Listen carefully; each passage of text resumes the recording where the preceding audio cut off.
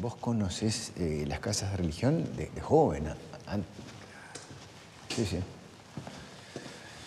Bueno.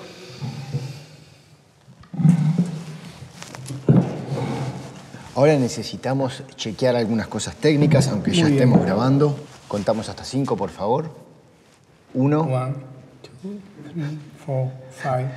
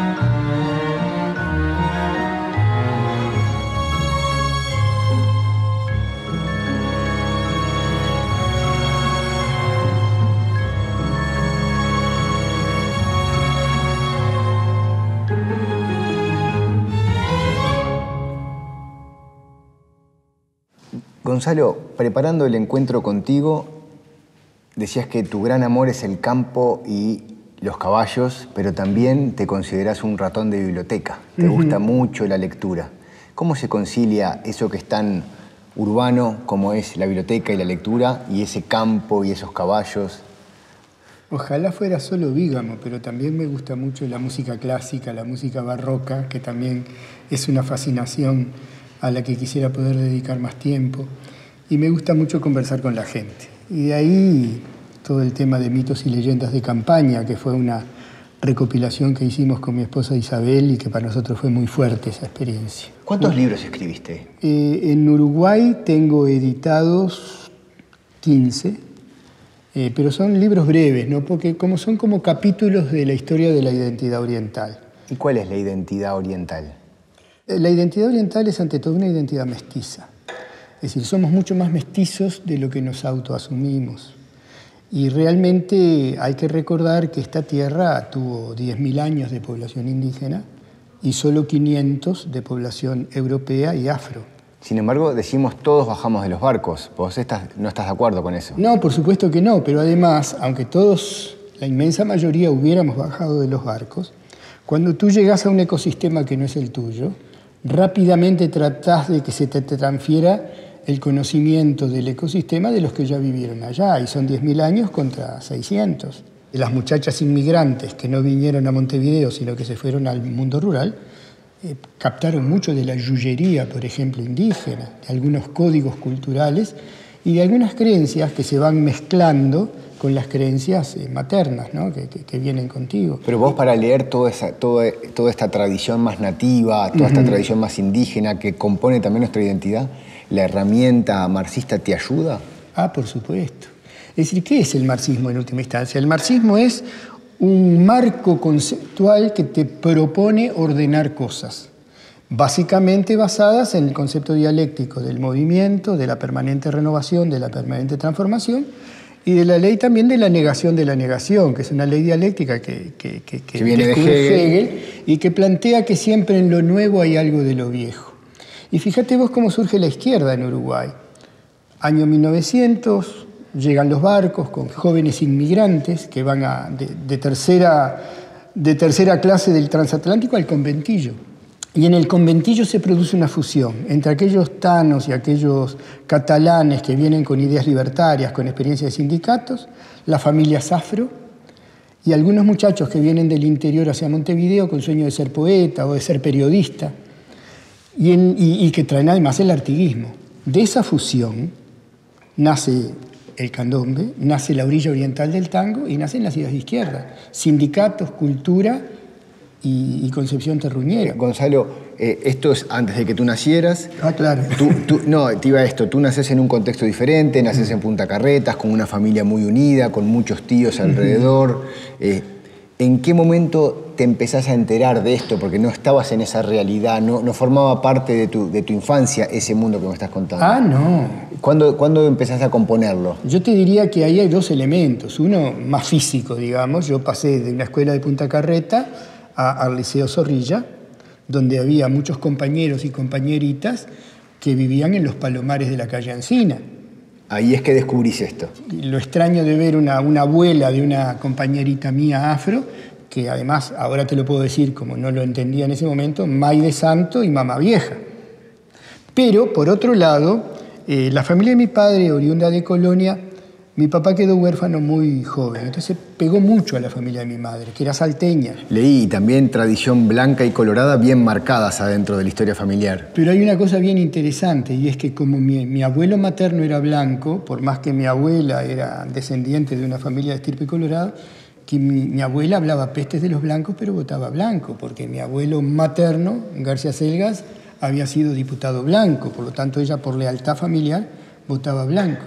¿Y cómo fue en esa familia de tradición blanca colorada que, que tú empezaras a abrazar las ideas de izquierda? En realidad, de mis dos tíos argentinos, eh, a mí uno de ellos, eh, chaqueño del origen del Chaco, fue fascinante para mí porque me introdujo en el mundo del guaraní, en el mundo del chamamé y en el mundo de las leyendas. Pero el otro tío, el, el entrerriano, era comunista y me dio literatura marxista. Yo era un ratón de biblioteca. En la adolescencia mía yo devoraba libros. Pero, Gonzalo, son dos tíos que te dicen cosas antagónicas. Es el agua y el aceite, porque ese marxismo es materialista, no cree en la leyenda, el, es el opio de los pueblos, todo este mundo más espiritual en ese marxismo que tú leías. En, en, mi cabeza nunca encontré contradicción. En un marco conceptual que explica la evolución del universo como eterno en desarrollo, con la magia de la espiritualidad, que de alguna manera sea expresión de un soplo divino o sea expresión del trabajo colectivo de las primeras sordas, es un mundo que tiene vuelo propio y eso también lo reconoce el marxismo. ¿Y en tu casa tenías formación más clásica católica? Católica, católica claro. Mi familia salteña, blanca, católica e hincha de Nacional. Mi madre decía cuando yo era chico que Dios me perdone, pero si juega Peñarol con los rusos comunistas, yo hincho por los rusos comunistas. ¿Y qué heredaste de eso, lo blanco, lo católico y eh, lo de nacional? Mira, yo heredé valores. Yo sé que mi padre era muy solidario, que a mi madre la quería todo el, todo el barrio, pero heredé otra cosa además. Este, por el nivel de adquisitivo de mi padre, no debimos vivir en Punta Carreta, donde las cosas eran más caras. Estábamos muy cerca de Positos. Pero mi madre nunca quiso renunciar al clan García Selga, ¿no? de, de, su familia. ¿Y eras de ir a misa también? O sea que también... Fui, claro, hice la catequesis, eh, fui a misa. Mi relación con Dios fue bastante buena, excepto que el padre, el padre franciscano que daba la misa no entendía que la misa no debía extenderse tanto porque había partido de fútbol, ¿no? Gonzalo, eh, ¿hay algún momento que tú recuerdes de estar frente a tu papá o tu mamá diciéndole, eh, me afilié al Partido Comunista? La primera, el primer choque fue como a los 13 años que yo le dije a mi madre, no creo más en Dios. No estaba muy seguro, pero ya que había que cuestionar como adolescente, empecemos por lo más alto. Por las dudas ya. No creo más en Dios. Y mi madre me miró y me dijo, mejor, porque sos muy vehemente y te harías cura. Ya vas a volver a la fe. Era, era muy difícil este, enojar a mi madre, ¿no? Este, no, eso no hubo conflicto. Después sí, cuando ya de estudiante, este, empezó a meterme, era, empezaba el Pachecato, era un momento muy duro, este, había mucha violencia policial, todos sabíamos que venía una dictadura, mi generación. Mis padres decían, están locos, acá en Uruguay nunca va a pasar nada. Pero a todo esto, vos estudiabas para ser maestro rural. Claro, porque... O sea, que uno te dice, pero no me... estabas afiliado al Partido Comunista, pero estabas haciendo una carrera de maestro. No, o sea... yo hice la opción previa de, de, de, de fue cuando, cuando empecé magisterio que después me afilié a la Juventud Comunista. Ok. ¿Te recibís de maestro rural? Sí, no, me recibo de maestro. ¿De ¿no? maestro? En Montevideo. Y mi primera opción fue una escuela que hoy es, eh, hoy es un suburbio de, de, las piedras, ¿no? Vista Linda, pasando las barreras. Yo iba en tren, bajaba, cruzaba un puentecito, era un ranchito, ¿no? Dos maestros y, y 20 gurises. Pero ahí viene la violencia social en Montevideo y ahí sí los compañeros de, del sindicato me dicen, mira, no te quedes aislado, te necesitamos, viene una lucha contra la dictadura. Y ahí me trasladé primero a la ciudad de La Paz después a Piedras Blancas, que era Montevideo rural en ese momento. Trabajé ahí, fui muy feliz ahí en la escuela, a pesar de que la, la, situación se complicaba muchísimo. Y en nada de esto, si bien hay militancia política, no hay una idea tuya de dedicarte a la política. De... No, no, no. Nada. Pero además hay una cosa, eh, la opción del magisterio y la opción por la izquierda, para mí son una sola opción. Es decir, una, una especie de vocación de servicio. Viene la dictadura, viene el peligro y te tenés que ir del país. Sí, no fue tan enseguida. Eh, yo este, en el Partido Comunista, yo me tomé muy en serio el Partido Comunista y le debo mucha enseñanza al Partido Comunista, porque yo era un, mi cabeza era un depósito de libros eh, en sobredosis. Y el marxismo de aquel Partido Comunista me ordenó las estanterías de alguna manera. Y no me las dogmatizó porque yo no lo permití. ¿No te las dogmatizó? No, no, porque yo veía que, que había contradicciones este, entre lo que decía el Partido Comunista y lo que decía la literatura marxista que yo ya había leído. A mí no me iban a llevar a, a que esa era la única versión marxista que podía haber. Déjame hacer un salto, Gonzalo. Ya vamos a volver a, a la biografía, pero ¿qué queda hoy en tu ideario político de esas ideas, del comunismo, de ese marxismo? A ver, a ver si te lo puedo explicar. Eh, una de las grandes preguntas que se hace la izquierda es por qué cayó la Unión Soviética, por qué China derivó a un país con economía de mercado. ¿Fracasó el socialismo y el capitalismo es superior? ¿Es una afirmación o lo preguntas? Pregunto. ¿Fracasó? ¿Fracasó? Fracasó. ¿Qué fracasó del socialismo? Evidentemente fracasó el diseño del modelo de los años 50, de los años 60, pero ¿es posible hoy un mundo capitalista? Esa es la pregunta. Yo pienso que el capitalismo nos va a llevar a la muerte del planeta y que es imprescindible una construcción socialista del planeta. ¿Y cuál es la mejora en el diseño que, que planteas desde Unidad Popular? Ah, a ver, ahí tenemos un problema, porque la Unidad Popular coincide en un programa para esta etapa, pero no, pero podemos tener distintas visiones de qué socialismo construir después. ¿Qué es lo que nos une a la unidad popular? Mirá que vinimos de distintos lados. Nos une, en primer lugar, un programa de base artiguista, reforma agraria, eh, recuperación de la tierra, de la soberanía de la patria. Gonzalo, y una ética. Me dijo Manini Ríos lo mismo. Qué Está- interesante. Todos son artistas. Porque el ejército uruguayo, que yo sepa, nació con un genocidio indígena. Después se metió en la guerra del Paraguay de una manera sangrienta. Después violó los derechos humanos. Y el ejército uruguayo oculta hoy secretos gravísimos para dolor de todos los familiares desaparecidos. ¿Es artista? Te la formulo de otra manera. Sí. ¿Por qué eh, Artigas es el líder de todas las fuerzas políticas, de todos los espectros? Ah, porque hay una devoción popular que demagógicamente nadie quiere perderla. Pero si tú pones, ¿Y por por qué Unidad Popular no está en esa demagogia que de tampoco querer perderla? porque somos coherentemente artiguistas. Te doy un ejemplo concreto.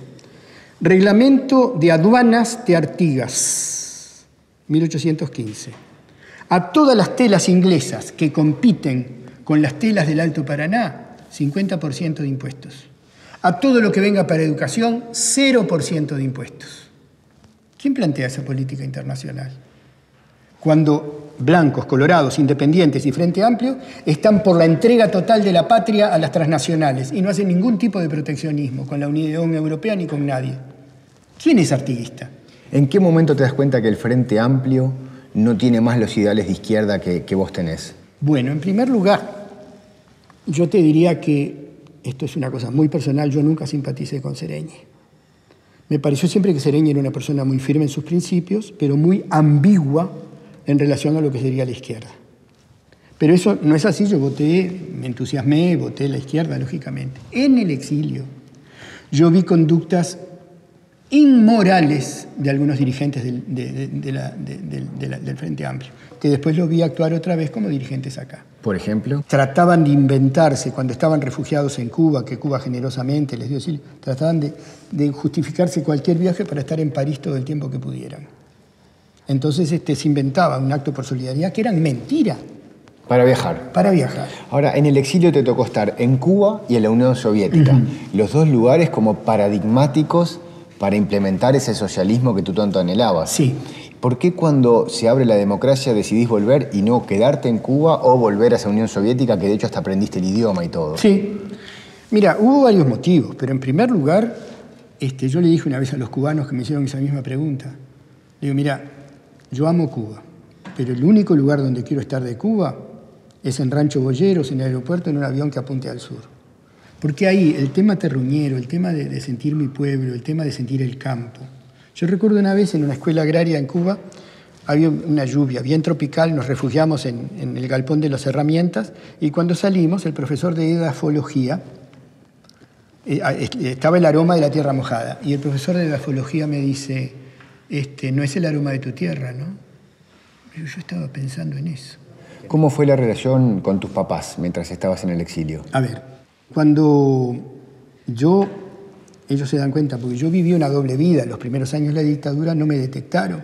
Yo seguía ejerciendo de maestro, me trasladé, me volví a trasladar de escuela.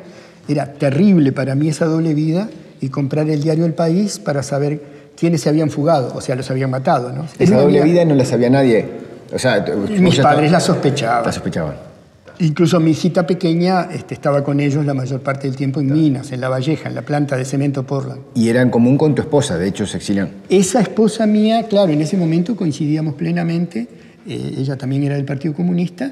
Perdón un paréntesis, esa doble vida era ser maestro de día, por decirlo así, y de noche, ¿qué era lo que hacía? La tarea mía era, que había empezado antes de la dictadura, cuando las medidas de seguridad, era no quemarme yo y conseguir casas y autos que no estuvieran quemados para la gente perseguida. Para refugiarlos. Para refugiarlos circunstancialmente. Y también buzones, o sea, lugares donde se podía dejar un mensaje, una red de comunicaciones. Todo eso era lo que... Perfecto, clarísimo. Cierro el paréntesis y vamos al exilio. Entonces, tenías esa doble vida y en un momento te das cuenta que te descubrieron y te tenés... No, me avisaron de la cárcel. Eh, una persona que estaba siendo interrogada le mandó a avisar a un pariente para que le avisara a otro pariente que estaban preguntando por mí. Y ahí tienes un momento de pasar por la casa de tus padres y despedirte de esos padres, de esos tíos y decirles, me voy. A los tíos no, pero a los padres sí. ¿Y qué te dijeron?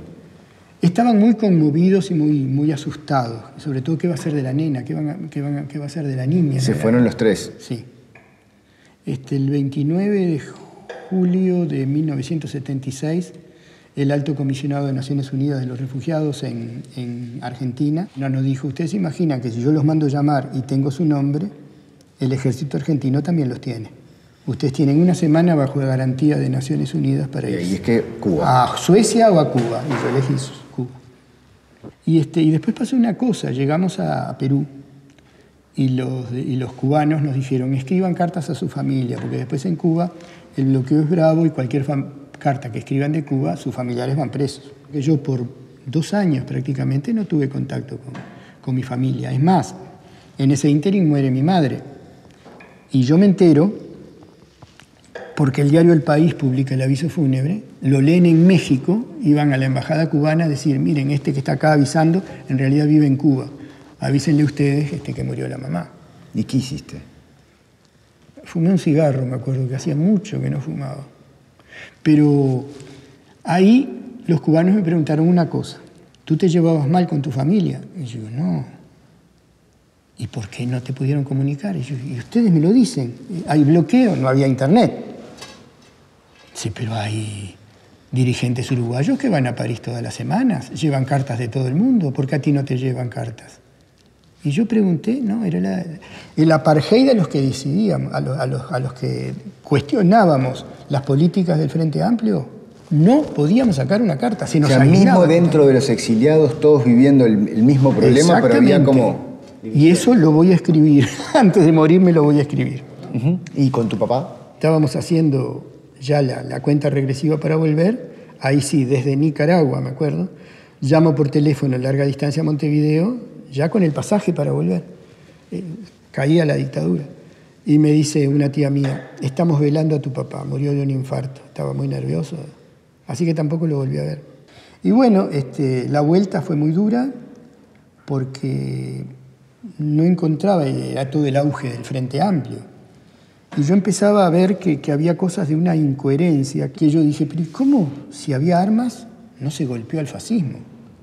Y me acuerdo que un dirigente del Partido Comunista, no importa quién, porque ya falleció, me dijo, vos no entendiste a Lenin, porque Lenin dice que para que haya una insurrección obrera se necesitan estas premisas. Ah, bueno, para una insurrección obrera sí. Pero de mi abuelo blanco, que peleó en Paso Morlán contra la dictadura de Terra, yo aprendí que cuando hay una dictadura plena, se contesta con todo lo que se tiene. Y ahí es un problema de principios, no es un problema de ver si hay más muertos o no. Además, no va a haber menos torturas o, menos, o más torturas porque respondamos con las armas. Ahora, Gonzalo, te voy a hacer una pregunta incómoda.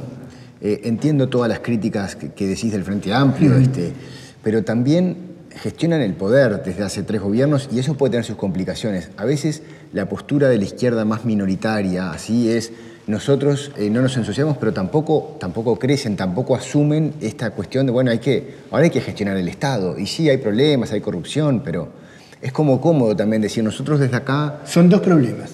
En primer lugar, ¿por qué cuestionamos al frente? Y segundo, ¿por qué no crecemos? Son dos problemas. Vamos a empezar por el primero.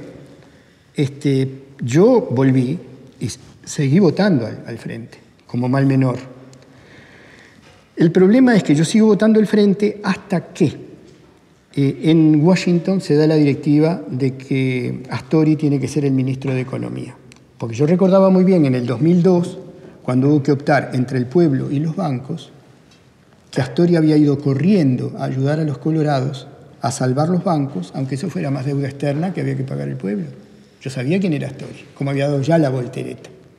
Cuando Tabaré Vázquez asesor del Fondo Monetario, avisa que Astori va a ser el ministro de Economía, dije, nunca más voto al Frente Amplio.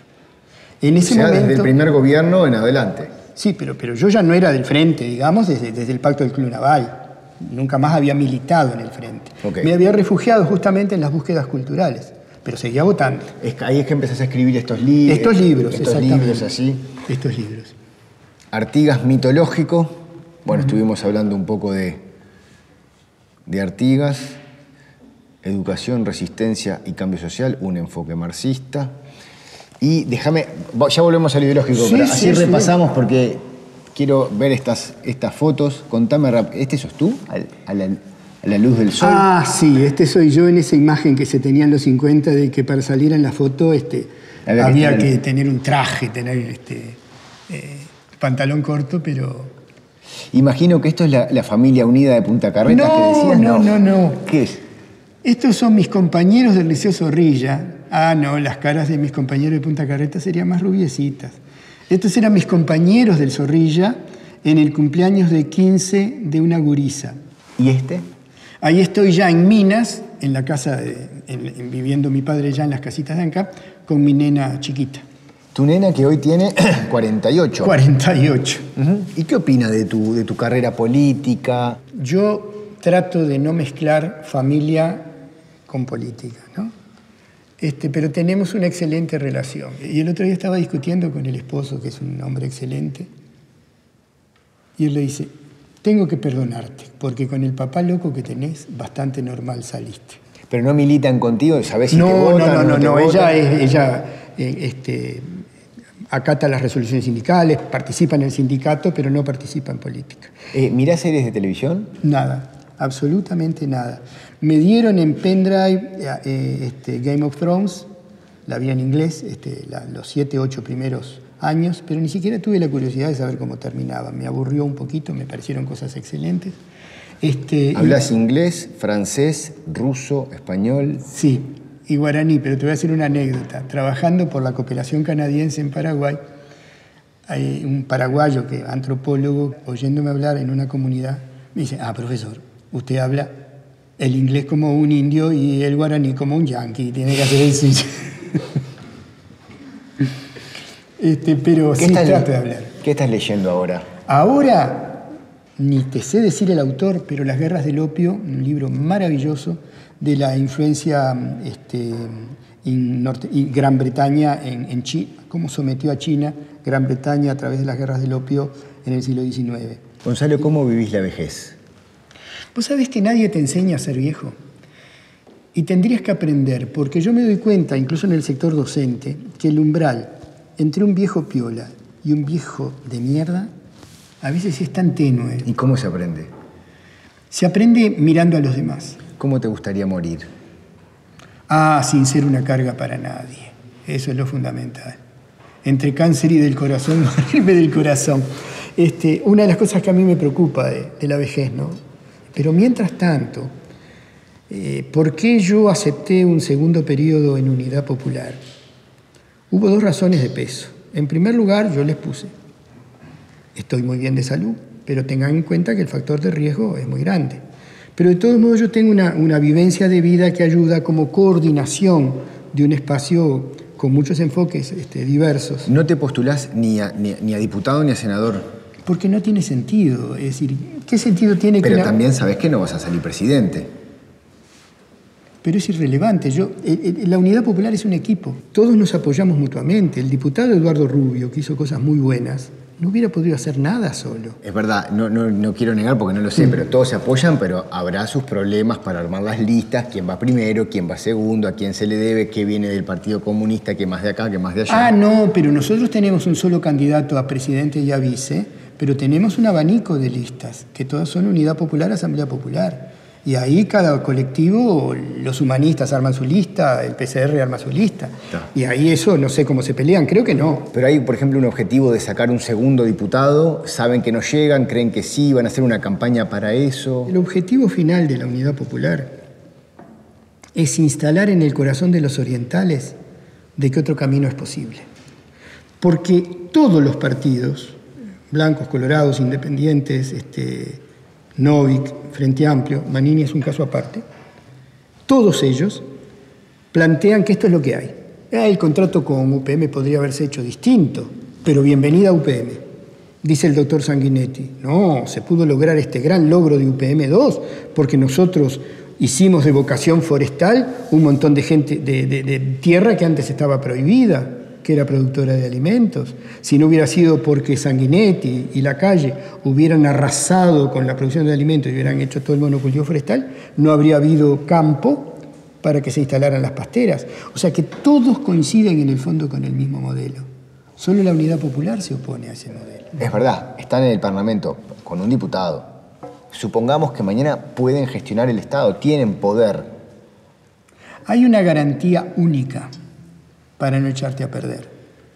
Y es la gestión bajo supervisión de los trabajadores y la exigencia de audiencias y, auditorías permanentes por parte de los otros poderes. Entendiendo por trabajadores, también empresarios, también comerciantes. No, trabajadores son los que viven de su sudor, aunque tengan una maquinita, aunque, aunque tengan un bolichito, no, trabajadores, trabajadores porque no se puede gobernar para todos. Pero ¿no te parece que esas categorías, Gonzalo, ya están un poco perimidas y hay también comerciantes, empresarios que venden su sudor, innovadores, gente joven que no tiene esa categoría de si soy asalariado, si no, tienen un proyecto, buscan fondos. ¿Tú estás diciendo que no hay gente excluida, que no hay gente pobre y que no hay gente muy rica? No, estoy diciendo que que eso, dividirlo entre los que son trabajadores y los que son propietarios de los medios de producción, quizás es una categorización que ya no se aplica tanto a lo que pasa, al nuevo, modo de trabajar. A nosotros apoyamos al capitalista nacional.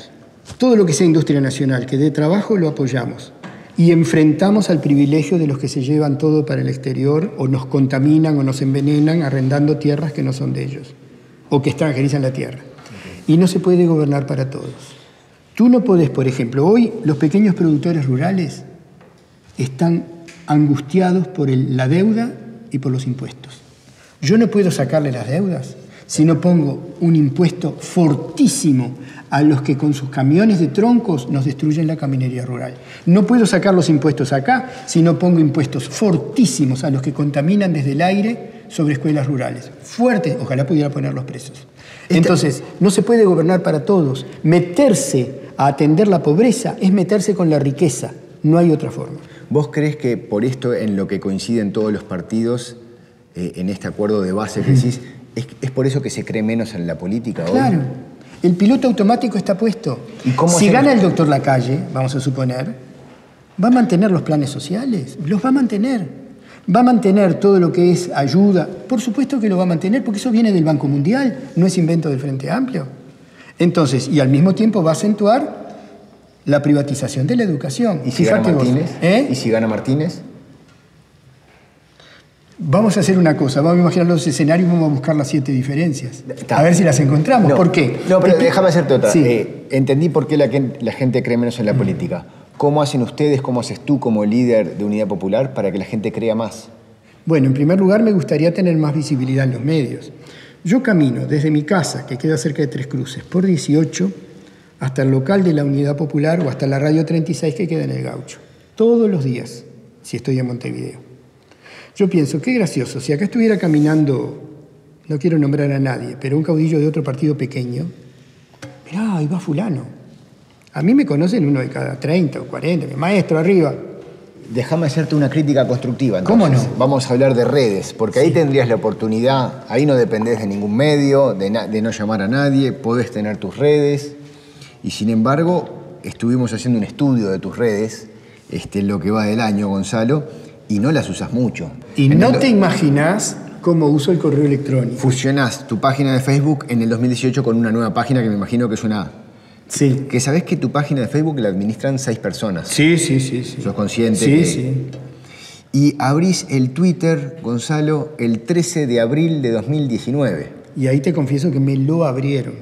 Porque pasa, ¿qué pasa? Pero entonces, ¿cómo me decías? No, no tengo presencia en los medios, no me dan tanta visibilidad, eso me... Pero podrías usar las redes mucho mejor para eso. Estoy aprendiendo, pero, pero me, me están enseñando. Pero hay una cosa real. eh, no hay nada que sustituya a la televisión abierta. Ahora, te hago esta pregunta. Viene un asesor y te dice, ¿sabes qué pasa, Bella? Eh, sos muy tranquilo, eh, hay banales ideas. Para estar en los medios tenés que hacer una comunicación más directa. Eh, decir, no sé, como Salle con UPM, ¿no? Que hace... Tenés que buscar más efecto también en la comunicación. Con toda la idea que la sostiene atrás, pero con cosas un poco más polémicas, si se quiere. Eso te, te lleva más a los medios. Que busquen otro candidato. Yo soy yo. Bien, pero en la política ese yo también negocia, separa, a veces hace un discurso así, hace esa, no se, no se moldea en función del contexto. Mira, nunca me lo pidieron en la Unidad Popular. Eh, Te explico más. Este, nosotros somos realmente un equipo. Y, y realmente a mí me gustaría que conocieran más al relevo juvenil que tenemos y que va a integrar las listas, que posiblemente salgan muy poquitos diputados. Pero este, ese relevo lo tenemos muy formado. Y te voy a decir una cosa más que puede parecer hasta, hasta tonta. Si para nosotros el relevo tiene que tener una conducta de humildad, de ética y de disposición a las tareas grises, de hacer los choripanes, de hacer las tortas fritas, hasta para pagar mi pasaje. Y en ese relevo, ¿este uso de las redes no, no tiene un lugar o es una cuestión más ideológica de que piensan que atrás de esto puede haber gente? No, no, no, ojalá lo usáramos más. Esa es una insuficiencia mía. No, no, ojalá lo usáramos más. Tenés, eh, este, estás arriba de los 6.000 seguidores en Facebook, pero claro, es muy atrás en- con respecto a otros candidatos. Claro.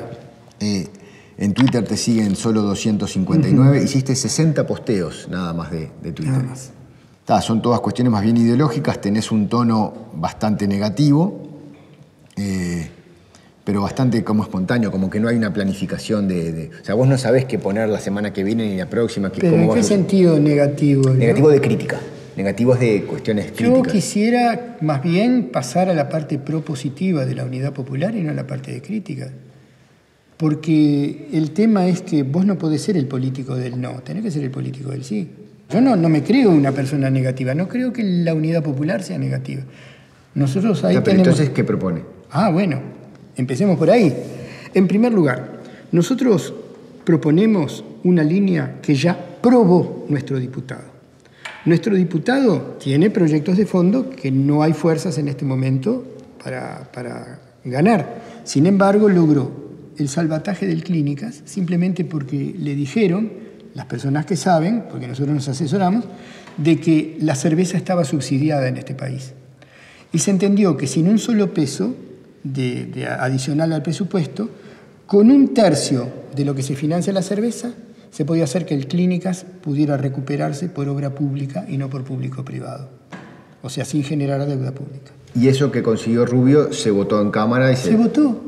Entonces, ¿es lo que queremos nosotros? No, nosotros queremos mucho más. No queremos ni esas siquiera pequeñas FONASA. batallas. Pero esas pequeñas batallas es para lo que sirve la bancada de la Unidad Popular. Por ejemplo, la investigación del FONASA. Por ejemplo, el hecho de que eh, se proponga un plan nacional de vivienda popular con el que, que es pagable por cada familia por el 10% de sus ingresos, no para los más carenciados, este es un plan para los trabajadores, y, y se aprobó en diputados. Ahora está durmiendo en un cajón de senadores por voluntad política de, del Frente Amplio, porque parece que no nos quieren dar ese triunfo como si fuera nuestro. Ahora, Gonzalo, una cosa, porque reconocías tú recién que no tenés un uso muy activo, este, mm. pero sin embargo hay una cosa muy extraña y es que hiciste una conversación en Reddit, que es una, mm. una red bastante desconocida. Sí. ¿Quién te invitó? ¿Cómo ah, Una ingeniera joven que es amiga de la familia. Y ella dice, no te importa, no te preocupes Gonzalo, yo te guío en toda la parte técnica. Y fue muy interesante. Me, da gracias, ¿viste la primera pregunta que te hacen? No recuerdo. Mi pregunta es sencilla, ¿fainá de orillo o grueso? Que es como una ironía. Sin embargo, vos contestás, sé que voy a obtener una reprobación mayoritaria, pero me gusta grueso, con mucho sabor a garbanzo. pero yo, vos sabés que el humor, el humor también tiene que ver con, la personalidad y con la política. Yo no, no puedo imaginar una persona sin humor. Yo, por ejemplo, una diferencia que hago, con todo respeto, entre el doctor Sanguinetti y el doctor Jorge Valle, es que el doctor Jorge Valle manejaba mucho mejor el humor y la sonrisa nunca era forzada. Entonces a mí me parece que eso es interesante también. Después no tenés Instagram, no seguís a ningún candidato en Twitter, tampoco ninguno te sigue a ti. Que es malo. Claro, porque te deja fuera de cosas. Es malo, claro, yo lo sé. Sin embargo, has contestado algunas cosas acá, una cosa retuiteás algo este, sobre Manini Ríos, eh, retuiteás de acá de vuelta de Manini Ríos, volvés a hablar del pacto del Club Naval, pero digamos que Twitter lo usas más para compartir cosas que otros han dicho, mientras que en Facebook ahí frenas un poco más y das un poco más claro, de ideas, ¿correcto? una reflexión más mía. Sí, esa, esa, es la estrategia actual que no significa que esté bien, eh, significa que es lo que, lo que me dan las fuerzas para hacer. ¿Tu esposa te acompaña ahora en todo esto? Sí, sí, sí, incluso cuando hablabas de mis libros. Este, Viste que los libros son como, son como los hijos, llevan el apellido del padre, pero siempre hay una mamá. Aprovecho para decirte que de las pocas cosas que has posteado en redes, las de género son las que tienen mayor volumen, cosas vinculadas este, al género. Segundo, economía. Tercero, política exterior, en ese orden. Sí, sí, sí. Vos sabés que yo, que me gusta mucho la historia, la segregación en contra de la mujer es la más antigua de todas. Cuando todavía en la Grecia clásica la homosexualidad era hasta una práctica en las clases dominantes, ya la mujer estaba discriminada. Y aparece hasta en el lenguaje, ¿no? Es decir, ¿qué actitud viril tuvo ese pueblo? ¿No? Incluso a veces me hablan de la patria y yo digo, yo quiero a mi patria, pero me gustaría más llamarle matria. Un placer. bueno, un gustazo. Para mí también. Gracias, Gonzalo. Por favor, a la hora.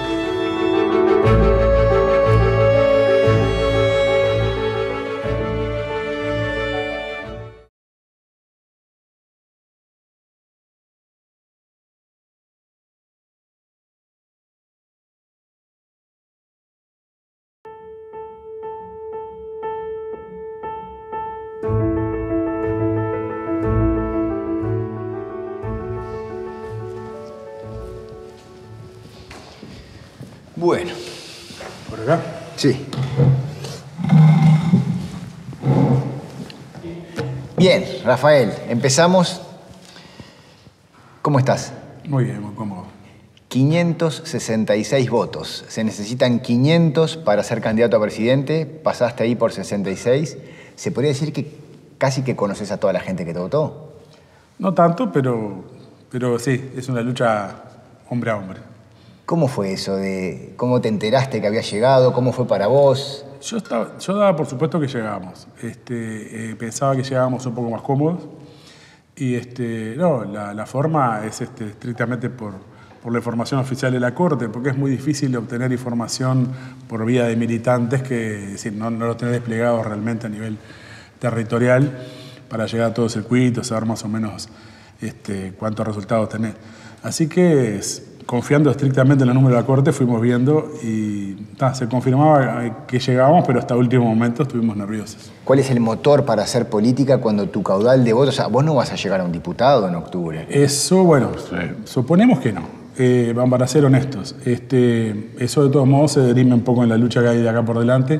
Recién en la elección pasada nosotros notamos una, una situación donde había una mayor difusión, mayor presencia mediática, digamos, este, mayores oportunidades, que realmente en las anteriores, puedo comparar porque estuve en varias de ellas, este, no existió prácticamente.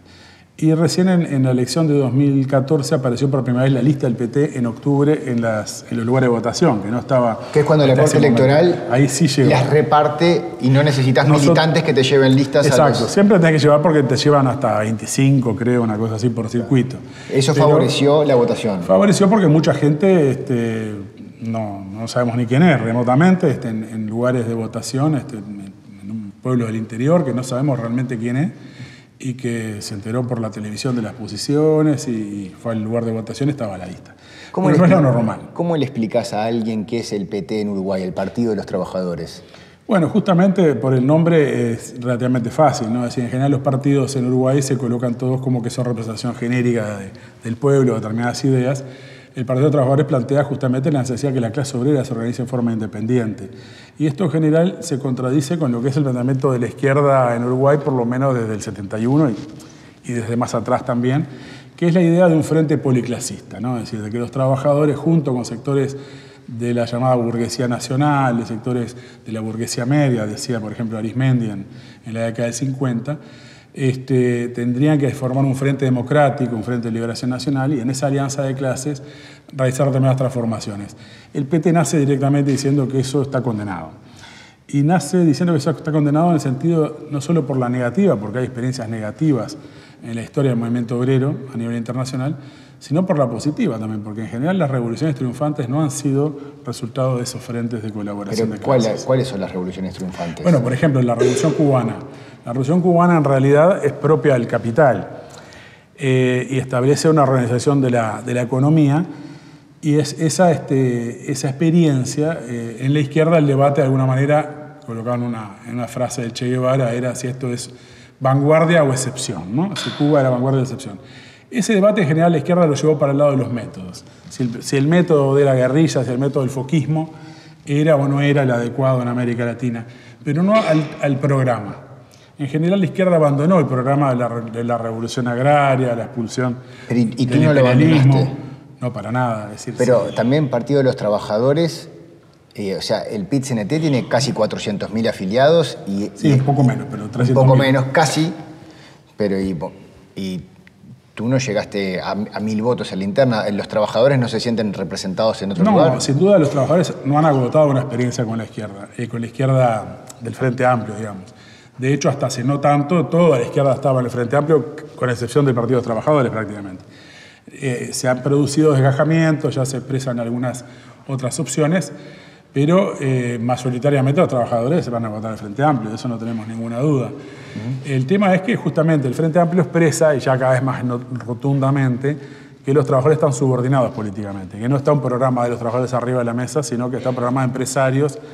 Es decir, que no hay de ninguna manera este, con el Frente Amplio un proceso de transformaciones sociales como de alguna manera tenías la expectativa del movimiento obrero en este país.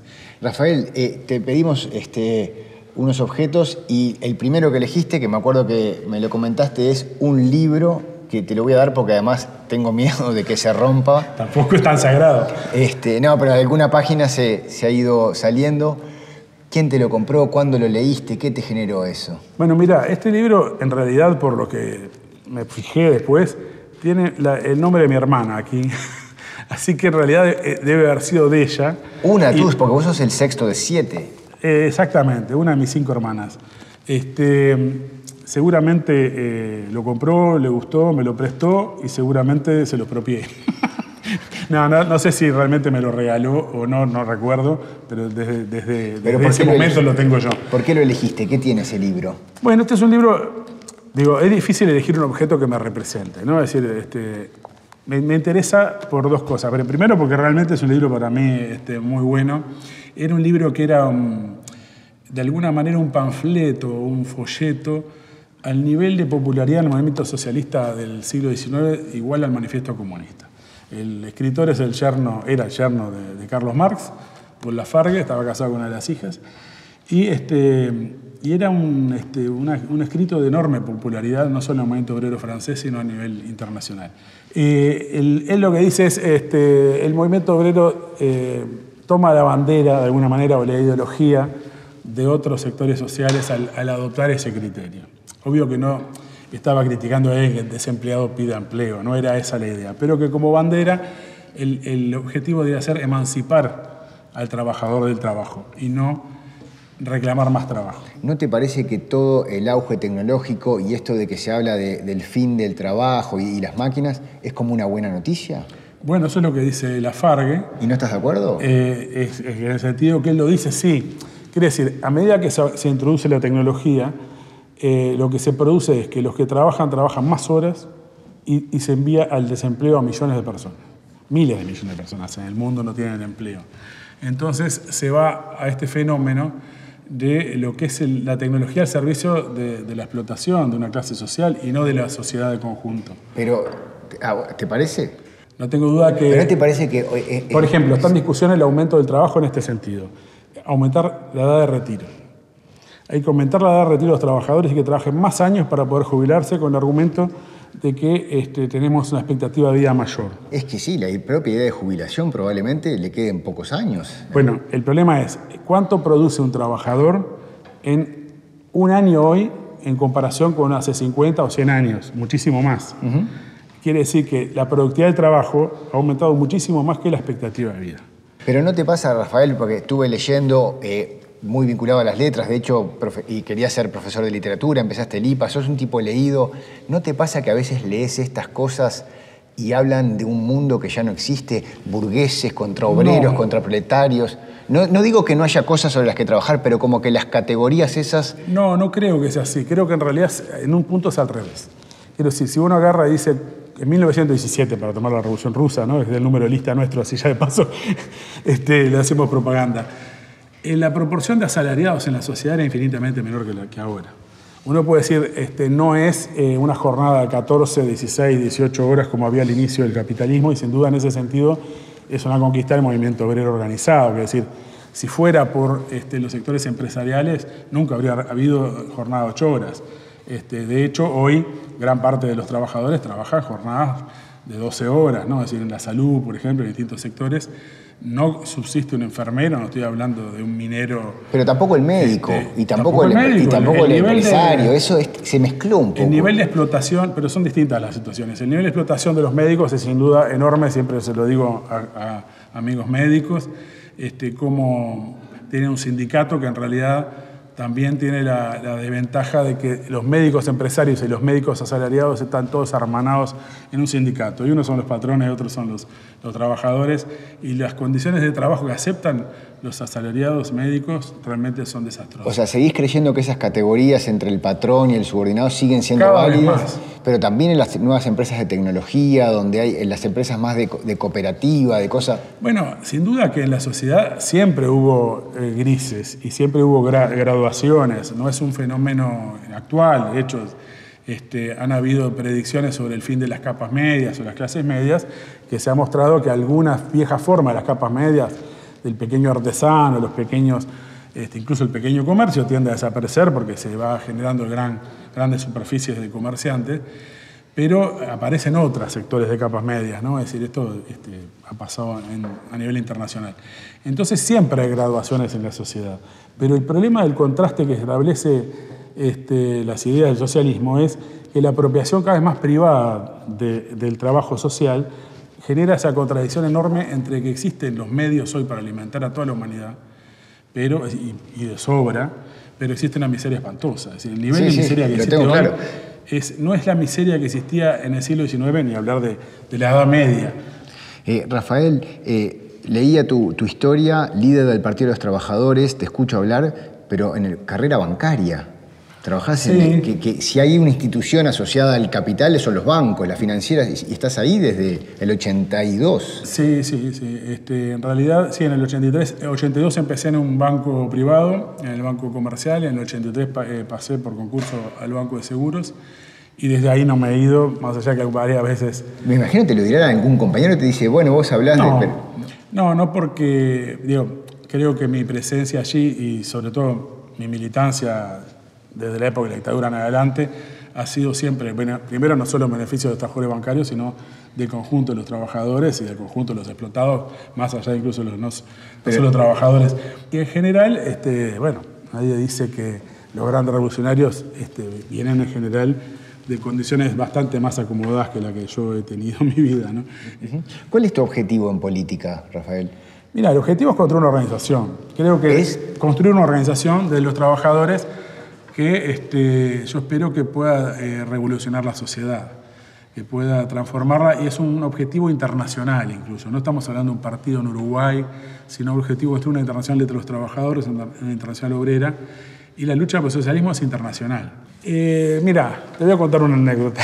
Con una amiga del trabajo, una compañera que era hasta jubilada, firmamos un contrato en el año 89. Era una apuesta donde ella decía que yo en 10 años iba a estar en otra cosa completamente alejada porque si se derrumbó el muro de Berlín y todo lo demás. Pero lo interesante fue esa apuesta. ¿Vos seguís? Porque la gané.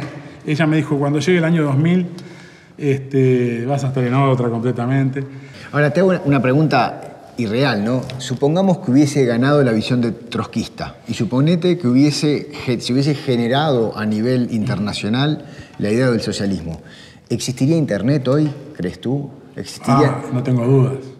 No tengo dudas que existiría eh, más tecnología de la que tenemos hoy en día. Tenemos mejor eh, en ese plano de innovación. Sin duda. Bueno, primero que, hay que no hay que olvidarse que durante toda una etapa la URSS avanzó a un ritmo mucho mayor, incluso con Stalin y con la burocracia. Es decir, estoy refiriéndome ya a una etapa bastante degenerado el proceso de la revolución. Este, el primer hombre en el espacio lo puso la URSS, no lo puso Estados Unidos. vamos a las redes, si te parece, Rafael, porque estuvimos haciendo un análisis de tu comportamiento en redes. Tenés un uso bastante activo en redes. Sí. ¿Cómo es tu rutina? es muy difícil. Eh, mi, utilización de las redes es totalmente irregular porque estoy en una reunión de trabajo, estoy en una reunión sindical, estoy en una asamblea. Y en todo ese momento no solo no estoy publicando, sino que no estoy viendo lo que se publica. ¿Y entonces qué rato? ¿La mañana o la noche es el momento? Y alguna descanso al mediodía. Es, es, un poco errático porque está dado por mi jornada, donde no todos los días son iguales. Pero sí, en general de mañana temprano o de noche tarde es donde vas a verme más activo. A veces postergo las publicaciones para no sacarlas a una hora muy inadecuada, las dejo para el día siguiente. Bien. Te digo, abriste Twitter en el 2011. De hecho, tu primer tweet es del 2 de marzo de 2011. No sé si te acordás. No, para nada. Escribiste Viva la revolución de las masas árabes. Mirá qué bueno. Está bueno que sea revolucionario mi primer tweet. Tu primer tweet, Primavera Art, harías Sería, sería Túnez, supongo, la revolución en, Túnez. Y tu primer posteo en Instagram, 12 de ah, marzo. Ah, tarde, tarde. Y es esto, esta foto con una referencia a la dictadura. Al golpe de Estado, no sé por qué sería. Hablando del gran capital, los obreros y eh, todo lo escribís en esa terminología. No, hay de todo. Eh, seguramente si estás a mi Facebook, capaz que algunas cosas más personales yo ya las puse para que no se visualicen tan abiertamente. Igual sos un candidato que tus números eh, de redes son bastante bajos.